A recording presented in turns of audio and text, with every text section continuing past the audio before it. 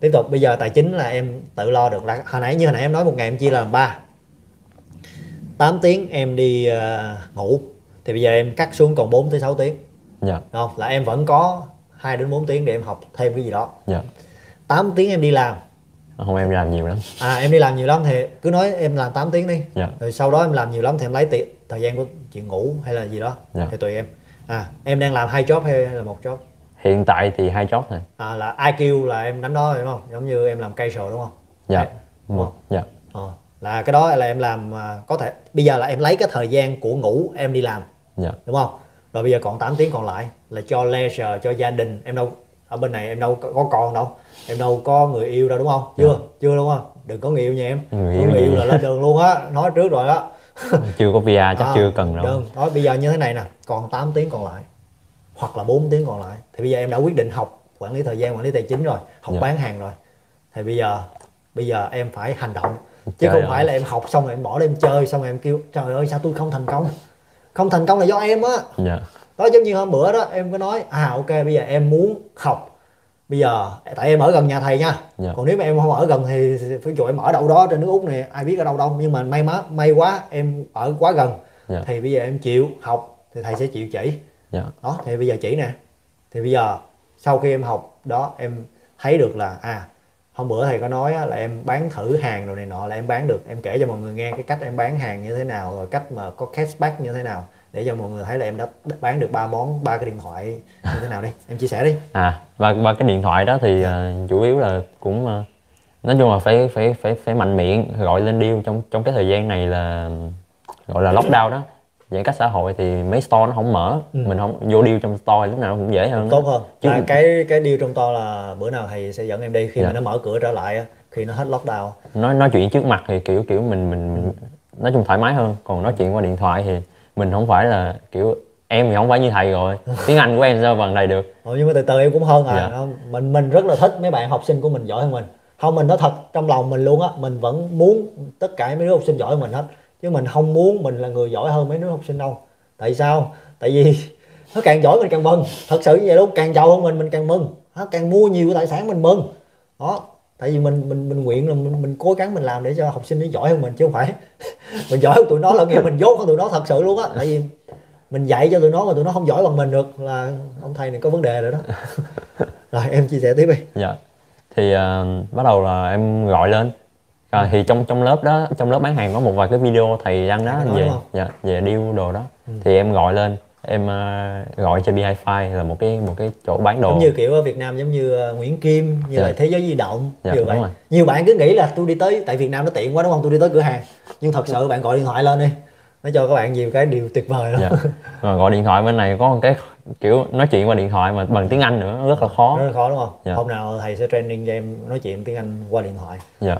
Bạn này bữa nay là ngày đầu tiên nhập môn nè. Là bạn nó học hết lý thuyết rồi. Hôm nay mình dẫn các bạn nó đi vòng bạn à, đi bạn bạn nam đi vòng vòng để cho bạn mình chỉ bạn nam nhiều cái. Hôm nay bạn nam học được nhiều thứ lắm nên lát nam chia sẻ với các bạn. Rồi cái khó khăn của em là cái gì?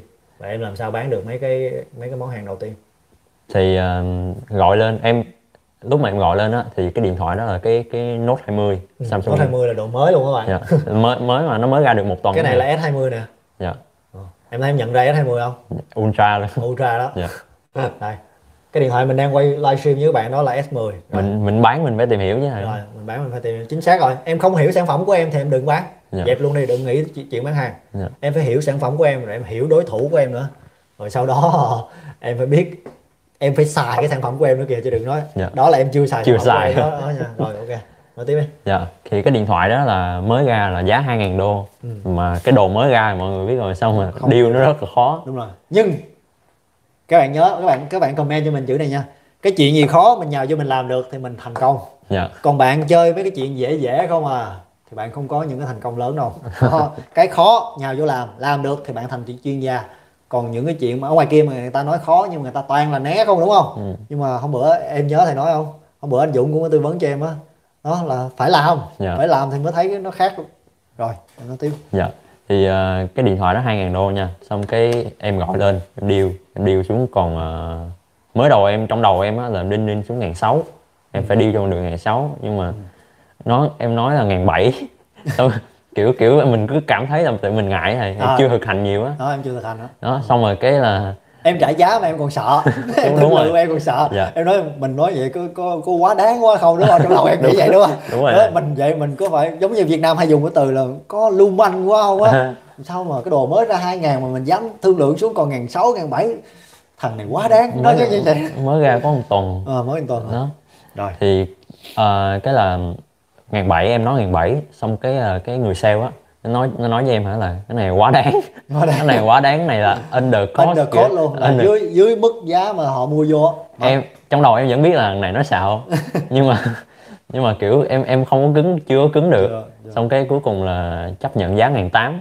Nó cũng không phải là không phải là hài lòng nhưng mà cũng cũng thấy cũng Em đỡ. cũng good, good rồi. Dạ. em em mất bao nhiêu thời gian để thầy phân tích cho em thấy là em có cái cuộc gọi là à, mất bao lâu? 5 phút 3 phút. Em nghĩ là 5 phút. Năm tại phút. tại vì nó đi hỏi mà đi chờ. Của nó rồi dạ. ok. Bây giờ thầy cho em phân tích cái bài toán của em ha. 5 phút. Dạ. em tiết kiệm được bao nhiêu tiền?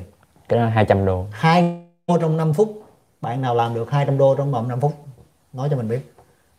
Từ hồi nhỏ tới lớn vậy em có làm được cái chuyện gì mà 200 đô trong vòng 5 phút không? Không. Thấy chưa? Chỉ cần một cái cuộc gọi thôi bạn tiết kiệm cho bạn 200 đô là em có được 200 đô rồi. Dạ. 5 phút 200 đô thì một tiếng bao nhiêu tiền em nhân Rồi. cho bao nhiêu tiền? Nhân cho bao nhiêu lần? Nhân cho 12 đúng nhân không 12 nhân cho 12 là bao nhiêu? Một tiếng. 5, 5 phút nhân 12 là thấy 700 à không sao mà ra 700 5 phút nhân cho 12 nó mới ra một tiếng đúng 6 không 600 ờ thì em lấy đâu em lấy 200 đô nhân cho 12 à 200 200 ờ 200 đô nhân 12 là bao nhiêu? Ngáo. 200 đô nhân 12 ngàn hai. 2004 hai ngàn tư đúng rồi. Các bạn một 2.400. tiếng đồng hồ là được 2004 kìa. hai ngàn tư một tiếng. Ừ rồi. Bây giờ bây giờ thầy chỉ em nha. Bây giờ ai mà muốn mua điện thoại á em lên mạng em đăng ai muốn mua điện thoại của GB Hi-Fi tôi mua giùm cho. Tôi đem tới tận nhà cho. Không mà có receipt luôn. lấy lấy cái đó xong mình lại đi price match tùm lum nữa Ừ. xong. Thì đó thì, thì Dạ. đó là tuyệt chiêu số 2 bây giờ À. em mua giùm thôi. Dạ. là em đi mua hộ hàng thôi. Là em cũng đã lời được 200 đô mỗi người rồi đấy chưa? Dạ. Chỉ có điều là mọi người không chịu suy nghĩ tiếp để làm thôi mình đi vô store hôm bữa thầy có nói với em rồi đó và nói rất là nhiều lần ở trên kênh lò khởi nghiệp rồi. Cái món người ta bán hai ngàn rưỡi mình không quan tâm. Mình vô mình nói hai ngàn được không? Không bán thì thôi tôi đi về. À, rồi sao mình nói chuyện? Mà mình nói chuyện vui nha. Mình nói chuyện có duyên mình nói chuyện sao cho người ta không thể nào từ chối mình được. Vô nói hay ghét à, quá. nói chuyện ghét nó lấy cây đuổi đánh đó rồi xong lấy đồ nó chổi trà ra nó đuổi đó. Rồi nhưng mà người ta cuối cùng người ta vẫn bán mình hai ngàn. Sao mình làm được?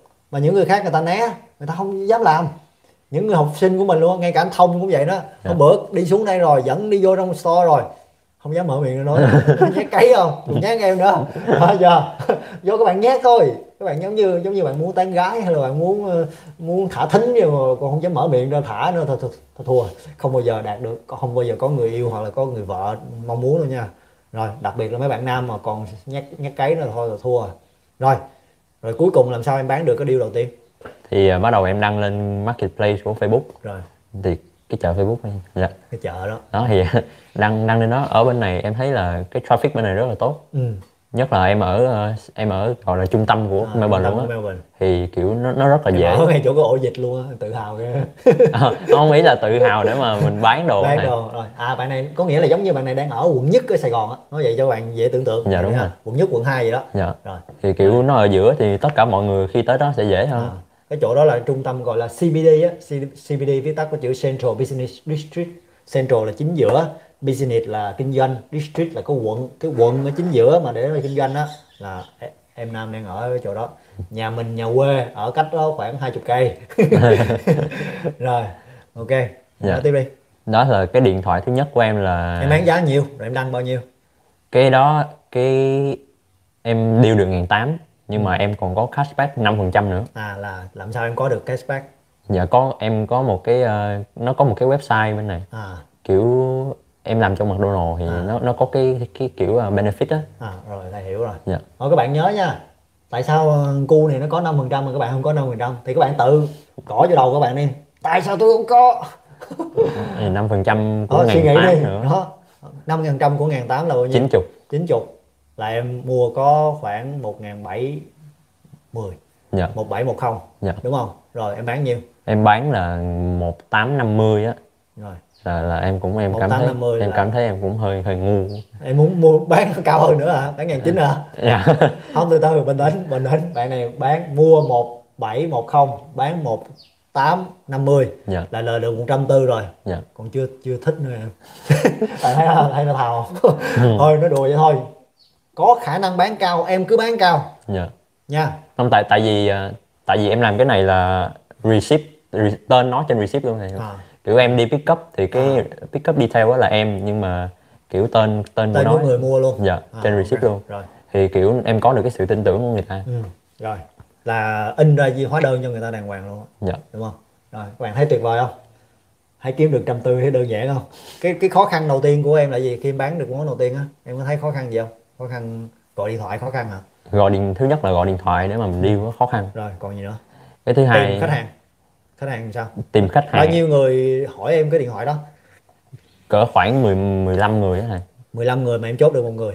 Dạ tại tìm khách hàng thì nó không khó khăn nhưng mà tại vì scam nhiều. À scam nhiều đúng không? Dạ, cho nên- scam là lừa đó. tìm tìm thì không khó nhưng mà lọc khó. Lọc đúng rồi. Dạ. lọc cái khách hàng ra. Dạ. cái người khách hàng nào người ta muốn mua thật sự á, nó khác Dạ. đúng không